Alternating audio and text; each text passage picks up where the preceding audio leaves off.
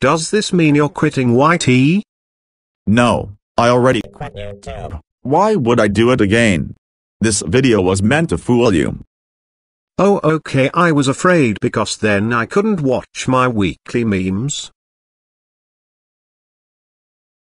Phew I thought you were early quitting, relieved sighing face with drop of sweat emoji.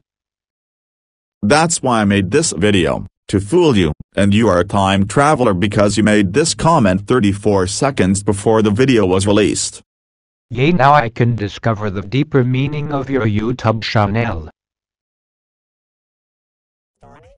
Fox.